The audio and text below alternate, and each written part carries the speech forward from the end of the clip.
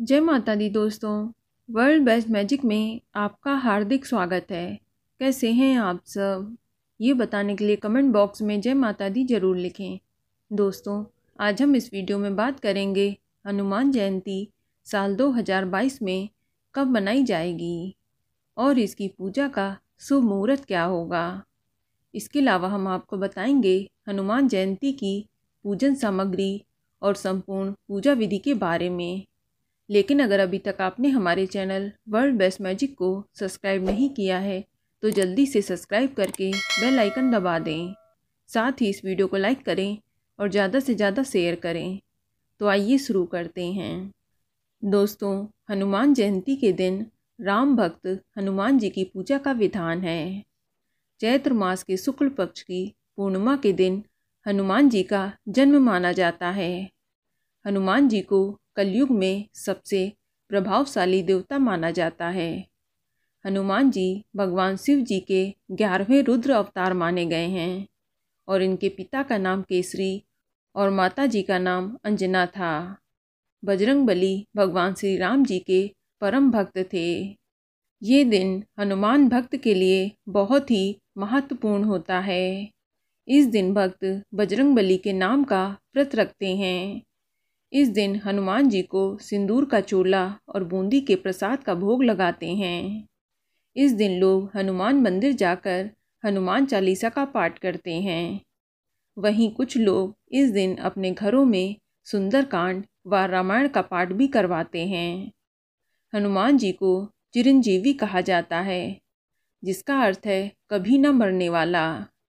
बजरंग बली अपने भक्तों से शीघ्र ही प्रसन्न हो जाते हैं।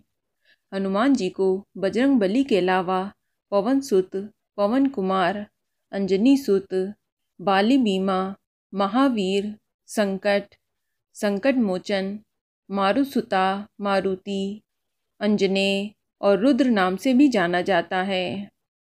चलिए अब जानते हैं कि साल 2022 में हनुमान जयंती कब मनाई जाएगी। तो आपको बता दें कि हनुमान जयंती 16 अप्रैल 2022 दिन शनिवार को मनाई जाएगी और पूर्णिमा तिथि की शुरुआत 16 अप्रैल 2022 की प्रातःकाल दो बजकर पच्चीस मिनट पर होगी और पूर्णिमा तिथि की समाप्ति 17 अप्रैल 2022 की प्रातःकाल बारह बजकर चौबीस मिनट पर हो जाएगी। और बात करें पूजा के शुभ मुहूर्त की तो आपको बता दें कि हनुमान जी का जन्म मध्य दोपहर में हुआ था। इसीलिए पूजा के दो शुभ मुहूर्त बन रहे हैं।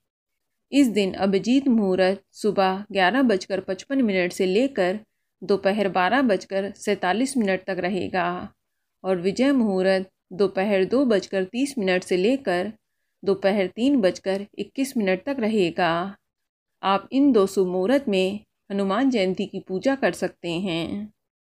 चलिए अब जानते हैं हनुमान जयंती की पूजन सामग्री के बारे में। आप पूजा के लिए एक लकड़ी की चौकी या पटा ले लें। लाल कपड़ा और लंगोट, हनुमान जी की मूर्ति या फ़ोटो। इसके अलावा अक्षत तुलसी का पत्ता, धूप, दीपक, घी, केले, लाल फूल, माला, चमेली का तेल, सिंदूर, रोली, चंदन, जनेऊ, इत्र, लड्डू, पान का बीड़ा, नैवेद्य में गुड़ और भुने हुए चने, बेसन के लड्डू आदि सामग्री ले लें। दोस्तों, इस दिन व्रत रखने वालों को कुछ नियमों का पालन करना पड़ता है। हनुमान जी की पूजा में ब्रह्मचर्य का विशेष रूप से ध्यान रखा जाता है। इसलिए आपको हनुमान जयंती के एक दिन पहले से ही पूर्णतः ब्रह्मचर्य का पालन करना चाहिए और इस दिन ज़मीन पर सोना चाहिए। आप हनुमान जयंती के दिन सुबह उठकर राम सीता और हनुमान जी का स्मरण करके स्नान करने के बाद साफ़ एवं स्वच्छ वस्त्र धारण करें। और फिर पूर्व दिशा की ओर मुख करके लाल आसन पर बैठ जाएँ। अब आप एक लकड़ी की चौकी लें और उसे गंगा जल छिड़क कर शुद्ध कर लें। अब उस पर आप लाल रंग का वस्त्र बिछा लें। कपड़ा बिछाने के बाद आप हनुमान जी की मूर्ति या फ़ोटो स्थापित कर दें। साथ में सीताराम की प्रतिमा भी स्थापित करें। अब आप व्रत का संकल्प लें और अपनी मनोकामना बोलें। इसके बाद हनुमान जी के आगे चमेली के तेल का एक दीपक जलाएँ। अब उन्हें जल का छीटा दें। फिर लाल पुष्प, चोला और सिंदूर अर्पित करें। हनुमान जी को लाल लंगोट या जनेऊ भी चढ़ाएँ, इत्र छिड़कें। इसके बाद आप हनुमान चालीसा या हनुमान जी के मंत्रों का जाप करें। आप ओम श्री हनुमंते नमा का जाप करें। आप बजरंग बाण या राम स्तुति का पाठ भी करें। ध्यान रखें कि हनुमान जी को भोग लगाते समय आप तुलसी का पत्र अवश्य रखें, क्योंकि तुलसी का पत्ता हनुमान जी को अति प्रिय है। इसके बाद आरती करके भोग लगाएँ। भोग में आप गुड़ चना या बूंदी या बेसन के लड्डू का भोग लगाएँ। इस तरह से आप विधवत पूजा को संपन्न करें। अंत में आप हनुमान जी से क्षमा याचना अवश्य करें। पूजा में हुई भूल की क्षमा अवश्य मांगें। क्योंकि अक्सर जाने अनजाने में, पूजा में कोई ना कोई भूल हो जाती है। दोस्तों, अगर हो सके तो इस दिन बंदरों को गुड़ और चना अवश्य खिलाएँ। इस दिन बंदरों को गुड़ और चना खिलाना काफ़ी शुभ माना जाता है।